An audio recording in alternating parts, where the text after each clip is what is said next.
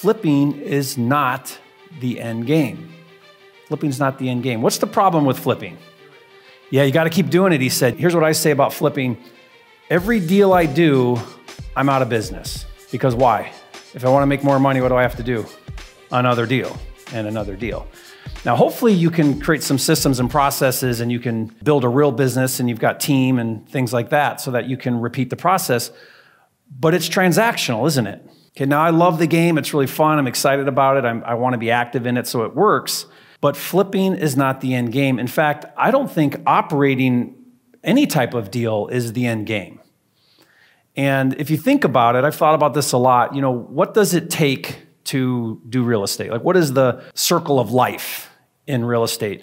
There's really three different people that have to be in a transaction. There's the finders, and these are the people that bring the inventory to market. Right? These would be agents, maybe, these would be wholesalers. And their job is what? They go out and they find the distressed property or they find the deal, they find the opportunity, and they bring that to market. Now, who buys those deals? Operators. These are investors that buy the property, they own the property, they fix it up and flip it, or they keep it as a rental, but they're the ones that are now taking those properties and doing something with them. And then who's the third person in the cog here? The lender, right? So you have to have the capital then to do those deals. Now, let me ask you guys a question Who is the top of the food chain? The lender is the top of the food chain. Okay, now why would you think that? The smartest person in the room is the lender, not the finder, not the operator. Does the lender get the call in the middle of the night when the toilet backs up? Does the lender get that call? They don't get that call, do they? Okay, my end game, and what I'm going to propose to you as well, is the end game is to become the lender in real estate the lender is really the only truly passive income model. If becoming the lender is the end game, that's my end game. If that's the end game, how do we get there?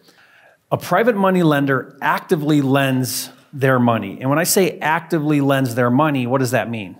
They're not giving it to somebody like a mutual fund and saying, go invest my money and you know, let me know how it goes. A private money lender is active in where they lend their money, meaning they learn how to underwrite. They are making conscious decisions about where their money's going on deals. They want a higher return. That's why they're lending it. Most of my private money lenders on my deals are getting double digits. They're getting 10, 12% or more on deals. And the one thing about a private money lender is they don't want to be the operator. They don't want to, or they don't have the time to be an operator, so they be the lender. Now, if we do a comparison here, like let's think about a side by side comparison, what's different about the operator and the lender? Well, the operator is leveraging their time and their expertise in order to make money. And what's unique about the lender? What is the lender doing? They're leveraging the money to make money. Isn't that cool? That's why the lender's at the top of the food chain, because it's their money that's making money, not their time and expertise that's making the money, which is also why it's truly passive. This is something that I teach my kids. I say, those who don't understand interest, how interest works, pay it. Those that do understand how interest works, what? Earn it. If you truly understand how interest works, then you want to be on the earning side of that, not the paying side of that. So, what are some of the benefits of becoming a private money lender? Well, like I said, no management, no maintenance, no contractors, no marketing, no, no tenants. It's truly passive. I've got a friend who is a mentor for me, and he has a $25 million fund. It's his money. So it's not like he pooled it and then he lends it out and makes a, a markup, right? It's his own money, after tax cash. It's 25 million and he lends it out to a handful of investors. I'm one of them. He's in Arizona. He just lends in his market. Really cool guy. Uh, 25 million. His average return, his ROI, is about 16%. He charges 12% and a couple points, and he typically lends the money twice a year. So his return on investment on his 25 million is 16%, which is how much annually? 4 million is a 16% return on 25 million. Now he has one admin and he's very hands on, meaning he likes to know the asset. One guy, one admin runs this business doing private money lending. He'll show up at my projects in his Harley just to get out and look around. Super chill. $4 million a year private money lending. Who thinks that's cool? I mean, the most work he does is he's got to walk out to the mailbox, you know, get his checks. Then he's got to go to the bank and deposit them, you know. That's passive. Who would agree with me that's passive income?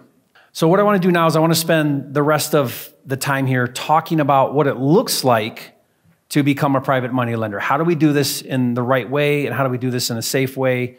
What does it look like to do this? Well, there are two fundamental principles that we have to understand right out of the gate here. You only lend on good deals, and you only lend to successful operators. If you do those two things, and we'll define what that might look like, but if you do those two things, you'll be safe. Now, my friend told me he's never taken back a property. And why do you think he can say that? These two things. He says, I don't lend on bad deals, so I understand the asset I'm lending on, and I only lend to successful operators. Okay, so let's deep dive this a little bit more. What makes it safe to lend money on real estate? you have to understand security. If you hold a security interest, then you are entitled to seize the asset, sell it to be made whole on the loan. A secured loan is that in the event of a default, you can take back the asset that was pledged as collateral. And this is why, this right here, this slide right here, is why real estate is the greatest investment of all time. Why? Because it's a hard asset. We invest in the stock market, and what happens? Poof, it's gone tomorrow because there is no hard asset. That's why real estate is so attractive to people. What's the difference between private money lending and hard money lending or asset based lending? What's the difference? Sort of, you're on the right track. Individual versus company. A hard money lender is a fund where they pooled money and now they're re-lending that money to you and me. Now, to become a hard money lender, where I take your money and relend it out to you, who's involved now? Massive regulation. The SEC, you got to be licensed, you got to follow all these rules. You do that wrong and you go to jail. Like it's a big deal because I can't take your money and lend it to him without all the following all the right processes. But can Jason do a personal loan to me on real estate? If it's his money, he can lend it to me and we don't need anybody's permission to do that. Okay, so private money lending is your money, it's one to one, it's your money to somebody else's deal. And you can do that all day long. So, what I'm talking about here is you transact your own after tax dollars that you relend out as your end game. Now, understanding security and a secured loan is how you stay safe in your deals.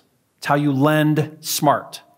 These are the two most important docs. Everybody here that is on the receiving end of this should understand these two. But what's the difference between a promissory note and the mortgage or deed of trust, depending on what state you're in? Most people don't know the difference. The prom note is just the terms of your loan. It's this amount, this interest, this due date. Here's what happens if you don't pay it back.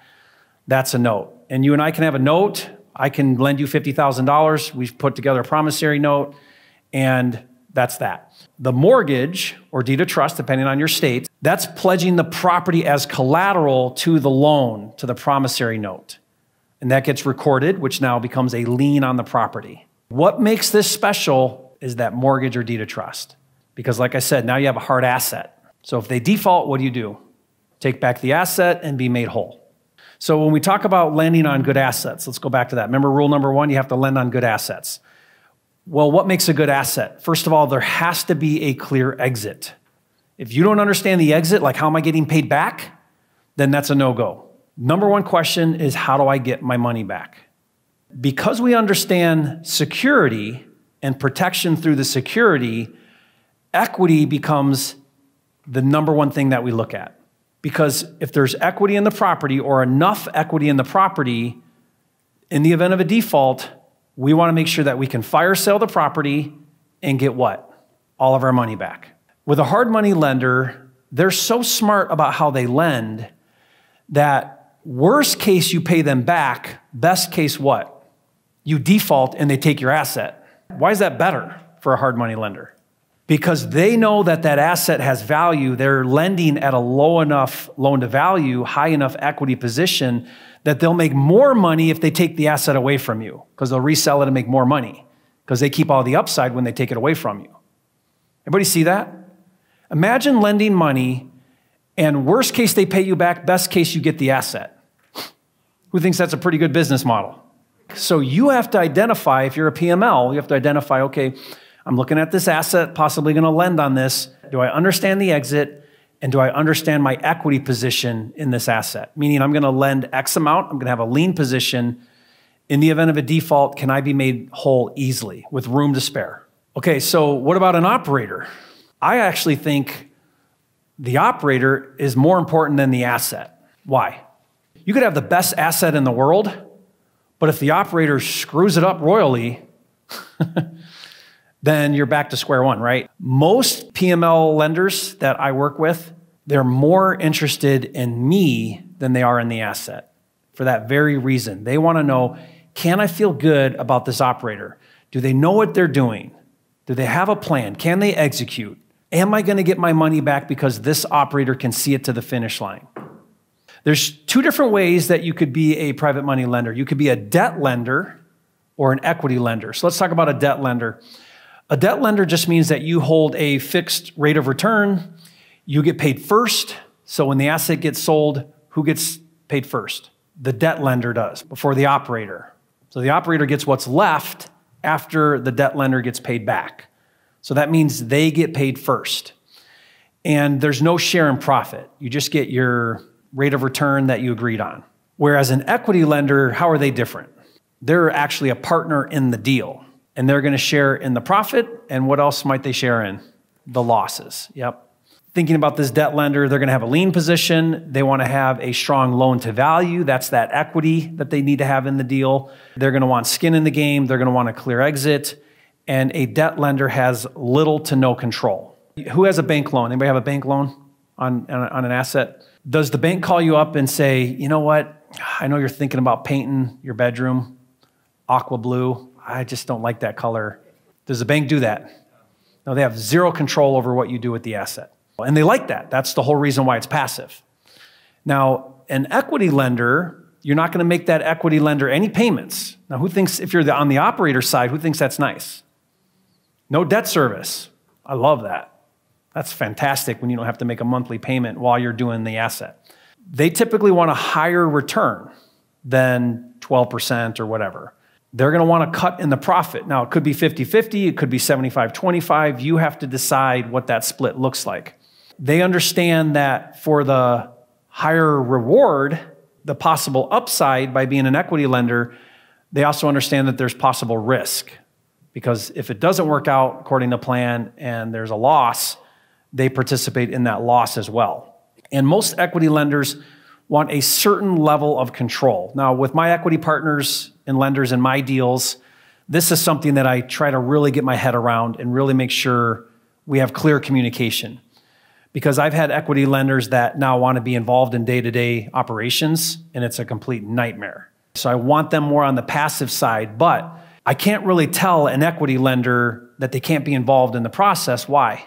Because I've agreed to partner with them in essence on the deal. So you want to have really good communication about what that involvement looks like upfront, communicate that well. If you're the lender, you need to decide okay, how involved do I want to be in this project? Do I want to be actively involved in the decision making, or do I want to let that operator do their thing and get a monthly report?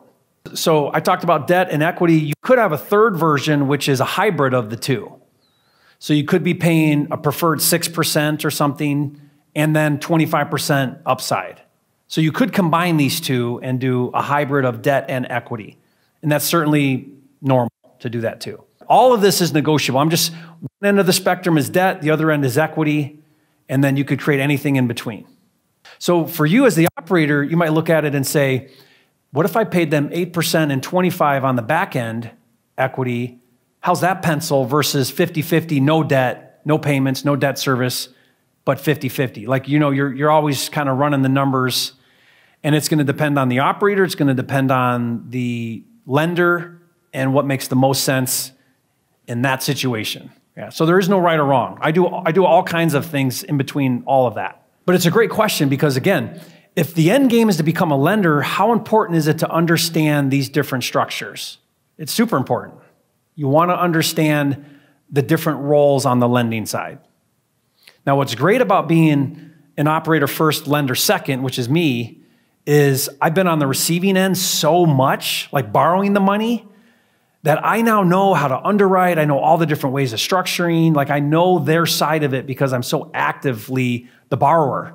So it's a natural progression.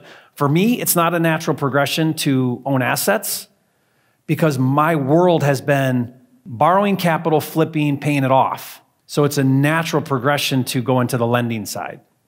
Okay, now who has an IRA? Wow. Are you guys lending from your IRA? Raise your hand if you're lending from your IRA. Oh my gosh. Wow.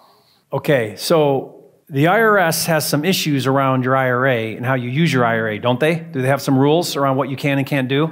Okay, if you do it wrong, then and they audit you, you're going to be in big trouble. Because what an IRA does is the government says, we'll let you do tax deferred or tax free, depending on how you set up your IRA, we'll let you do that. But why is the IRS allowing you to have an IRA where you can earn tax free or tax deferred income? Why are they allowing that? What do they want you to do with that money? Invest it.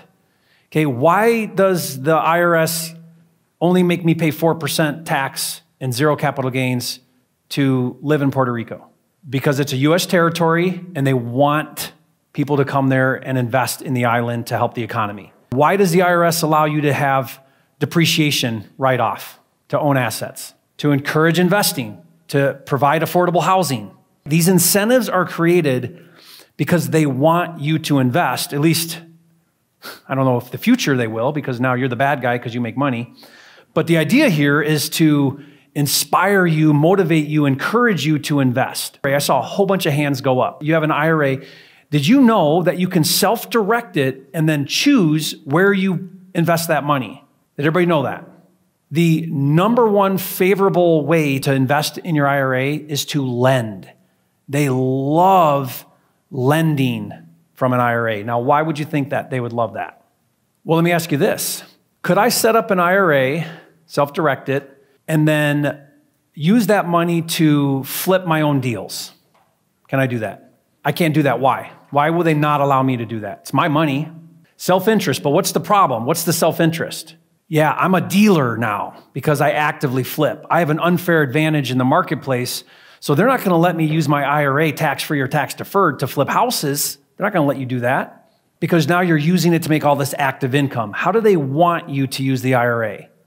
Passive income. That's what they want you to do with it. They want you to invest it passively. If you're trying to invest it actively, then you throw up all these red flags and, and you're in the gray or in the no, no go zone. But when you self direct it and you lend it, that's very favorable. That's looked upon very well with the IRS. They like that. You can't use it to buy property you already own. You can't do spouse, parents, children, their spouses, grandparents, grandchildren, and their spouses. So you can't lend it that way because why?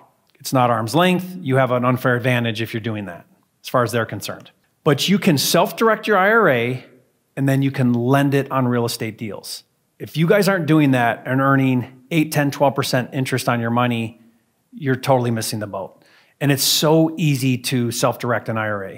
You can go to somewhere like Equity Trust.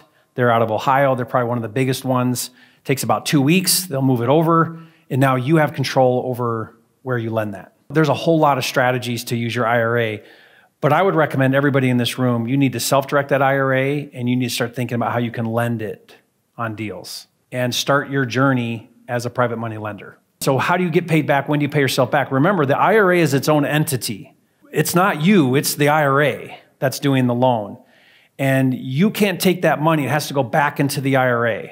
You can charge yourself a management fee. Some people do that. But the idea here would be don't take the money, put it back in the IRA, grow the principal, and compound interest that baby.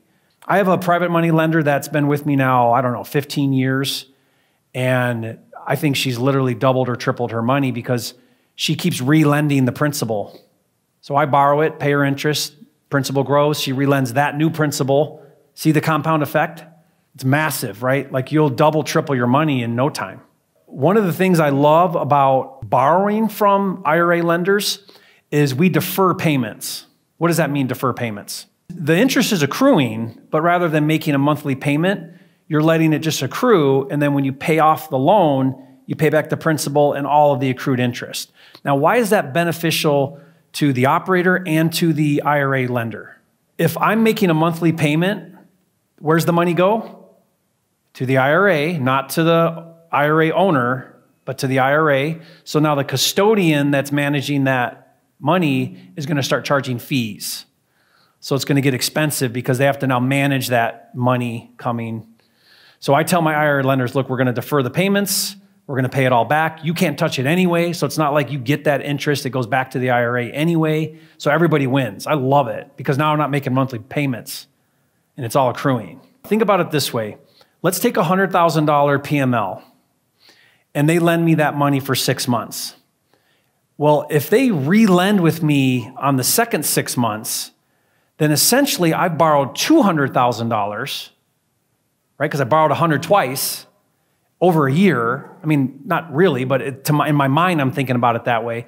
And what if I borrow that money again and again and again, next year, the year after, the year after, for the next 10 years? That $100,000 PML is worth millions to me because I'm going to take that $100,000, I'm going to do a deal and make, let's say, 25,000 again, again, again. I'm leveraging their money for me to do deals, deals, deals. So the value of a PML as for the operator is tremendous. So the relationship is everything. I want them to have such a fantastic experience that they're signing up for the next deal. If they have a bad experience, they're not lending to you anymore. That's why even if I do a deal that loses, I always, always, always pay my PML. I do not ask them to participate. Why? Why would you not ask your lender to participate in a loss? They're out of there, man. They're gone. They're not going to lend you anymore. And I'd rather have them lend to me again than whatever loss I took. Okay, that's just me. I value that relationship tremendously. Six steps to lending as a PML. This would be a debt lender, and this would be like a fix and flip, which is pretty typical. Step one, you're going to want to do the underwriting. You're going to look at a breakdown of the numbers. What's the purchase? What's the rehab? What's the after repair value? What's the exit? I want to see comps that justify that after repair value. I want to see the as is before pictures, and I want to know the closing date. So, this is a breakdown of what I want to see as the PML or what I would provide as an operator to a PML. Then we're going to draft loan docs. I'm going to put a promissory note together. That's going to have the terms, the conditions. We're going to have a mortgage or a deed of trust. As the PML, you're going to want to see that. As an operator, I provide that to my lender. Let's look this over. Let's call and talk about it. Do you have any questions?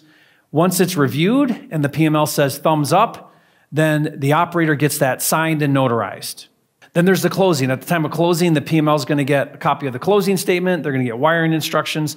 They're going to get that mortgage. They're going to get property and a lender policy on the insurance side. The PML is going to wire the funds directly to title, not to the operator. Title is going to record the mortgage or deed of trust with the county, and then the lender gets a recorded copy of that. Step four is if there's rehabs going on, is the operator is going to put their money in first and then ask for PML to reimburse it. You don't write the operator a check for $40,000 and say, have a good rehab, because what might they do? Buy a boat instead, right? So they're put money in, then they get a draw. You're going to want to make sure that you've seen a breakdown of what was done. You're going to want to see pictures of the work. Maybe you send somebody to verify it was done, and then you're going to send a draw. And then payments. If there's payments, then every month, the operator is going to pay that interest only payment typically to the PML, and it's going to be a, based on a prorated balance. So, whatever you've drawn out so far. And then the payoff happens on the day of closing. Um, you're going to get, uh, you're going to provide a payoff letter to title because they're going to see your lien recorded. Then title pays you directly back from the proceeds. So, these are the steps to doing your first PML. Decide what investment strategy you want to lend on Make sure you're investing in the operator, understand the after repair value or the equity position, decide what loan to value you want to be at, what equity position do you want to have in the deal, determine what kind of return you want to get for your money on your on the deal, and make sure you have a clear exit or turnaround time on that deal. Just in closing here, guys, this is a philosophy I have. All of this, we talk about money the whole time, right? Like, how do we make money? How do we make money? But really, at the end of the day, it's not about the money, it's about what? It's about having the time and the freedom to have, be, do, and give everything that matters in life. And I believe that God has big things in store for each of us. And I believe that our job, you know, the purpose of this life is to find that and live it at the highest capacity we can. And guys, all of you guys with self, with IRAs, self-direct those IRAs, contact me and lend me your money on my deals because I'm very actively still doing deals. But honestly, guys, it was great to, to share this with you, and I, I sure appreciate this time. And I'm sorry, Bill, for going over so much. All right, thank you, everybody. Do you mind taking a couple questions?